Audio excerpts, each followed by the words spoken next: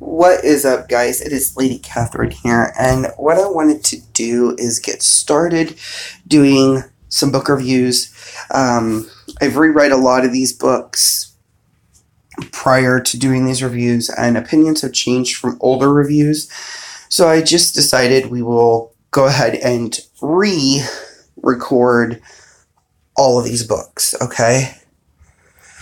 So there are 13 on my Kindle, plus I have a list of like 40 some other books. So there's quite a bit for book review content. So I want to get started with these 13 Kindles um, as I'm already reading number 14 as we speak. So the first one I want to I want to review is When God Was a Woman by Merlin Stone. And my reviews are going to be a little more different than most. I'm, I mean, I'm going to try and keep these as short, sweet, simple, to the point as possible. Um, kind of tell you what I liked and didn't like about it, things like that, and just kind of keep it to that instead of going through the book like a lot of like a lot of book reviewers do. So let's dive in. When God Was a Woman by Merlin Stone, this was originally published through the Dial Press in New York in 1976. So the copyright on this is actually 1976 Merlin Stone. And I just I want to start with the good things here. There are a lot of things you learn in this book.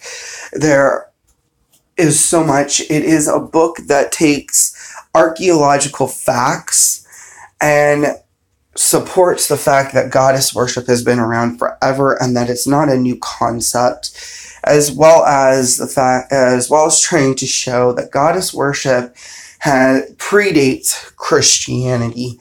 And it's all through these archaeological like archaeological facts plus what we already know from prior historians and archaeologists as well. And I re- really love this book.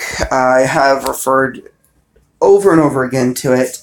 I am going through and Googling claims as fast as I can to some of the things that she makes in this book. And so far, I'm about halfway through it.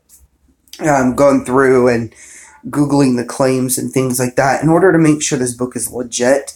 And so far, I have been able to find everything at, in some way, shape, or form, whether in different wording or, you know, just written in a very long, drawn out post, whatever it may be.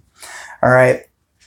So it is very factual. So far, it is, you know, a legit factual book and not just someone's made up beliefs and stories. And, you know, obviously, even though I don't personally work with deity in general, other than like I don't worship deity, but I'll work with them if they come into my life to teach me something, to teach me a lesson of some sort.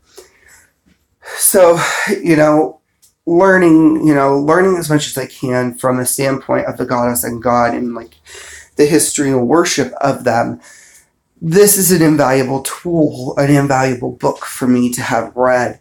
And it's given me a whole new appreciation for goddess worship in general. So, I mean, I just, I can't tell you enough how valuable it's been to me so far and helped me with my uh, studies of the goddess. So, there's not a lot here. I'm just going to real quickly show you guys the um, table of contents here, there is literally a bunch of stuff at the beginning all the way to the introduction, and then there is about 11 chapters, and it does end up in the last two chapters talking about the Christian concept of Adam and Eve, or the Christian myth, I should say, of Adam and Eve. So, you know, if that gives you a little bit of an idea of what you will learn in this book. You're, the, she takes, and she talks about sexual, uh, sacred sexual practices to the goddess, to the various goddesses out there. Uh, she talks about various ritual worships, uh, various offerings that were pla- that were offered up to the de- to the goddesses of very uh, many cultures So there's a lot you learn. So, some pros of this book it's very well written, easy to understand. It is also a book with a lot of dates, which we're going to get to the dates in just a moment. So, I do suggest that you read this book slowly, and I'll explain that here in a minute as well. But on top of all this, it's a very well researched book, from what I can tell the only few cons that I have, and they're just very minor, is with all the dates and places and names, you really want to read this book slow or you will get confused and turned around at every single corner. And if you're not one that can remember names, dates, and all that good information, definitely want to take notes as you're going through this book. This is not a book that you could sit down. In my opinion, this is not something you could sit down and read in an afternoon and be able to utilize the information that is in the book. This is something you have to sit down and take your time, take notes over, you know, uh, do what I do. I verify every every claim that's made in a book anymore to see if it's something that I can find online. If I can find it online, then obviously it's a legitimate claim in some way, shape, or form. Um, and then it goes into there, like, how do I feel about that claim? Does it jive with me? Things like that. So, definitely on the cons, it's not a quick read book. It is something you will need to take notes over. And there are a lot of names, dates, and places that if you read it too fast, you're going to get confused with. So, over all in all, it is a great book. I highly recommend that anybody read this book, even if you do not work with deity or even if you do not worship deity. All right. So, guys, that is my review of When God Was a Woman by Merlin Stone. And until next time, namaste.